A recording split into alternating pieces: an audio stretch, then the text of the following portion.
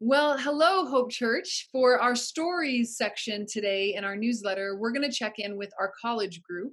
We actually have two interviews that will make up this whole segment. First, I'm going to be interviewing Steve Lowry. He's giving leadership to the college group for an 18 month internship. And it's an interesting time to begin uh, an internship because he started about a month or a month and a half before we went into quarantine. Steve, how has that been taking over this position at such an interesting time?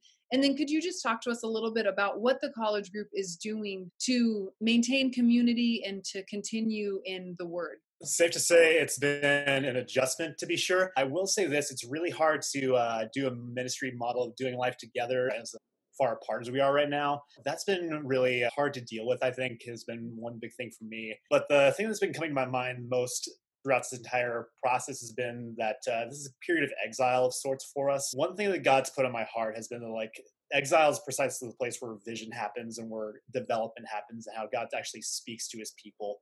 So instead of like letting us be something to like discourage the group or myself especially, we want to lean into the difficulty during this time. Actually, let's be a place where God shapes us and we allow God to speak to us and where we seek Him even more and more than we would in our normal day to day lives. And um, one thing we've been doing to kind of continue doing life together in some aspects is we've just been still continuing our usual weekly practice of meeting together, although it's been over a platform called Discord, which is like Zoom, but far more intuitive and better. We've been doing that together and we've been reading through First John together as a group and just kind of letting that speak to us basically we've been just trying to be there as support for one another as much as we possibly can during this time. We've had the chance to like take walks and have socially distanced coffee sessions together. So that's been nice. But again, this is not the most ideal thing, but something where we believe that God can speak to us and teach us and develop us. That's awesome. We're going to hear now from Lorenzo Perea, who's in the college group, who took a step towards mission during this time.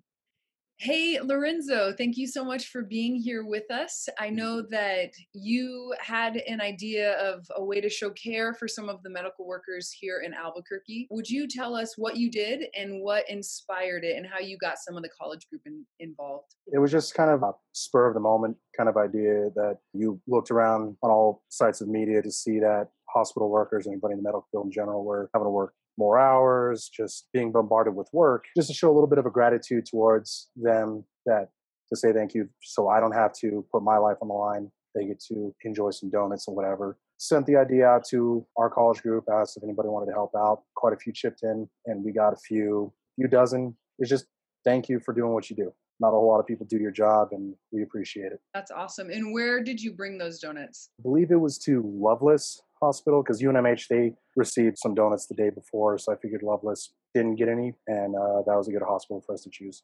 Well, thank you so much for being aware of what's going on around you. I know that that was probably something that everyone who received them greatly appreciated. So thank you uh, for doing that. Certainly hope so. I mean, you know, the whole medical field's probably not for that much sugar, but hey, you can enjoy it from time to time, right? yeah, every once in a while. Thanks. Have a good one. You too. Thank you.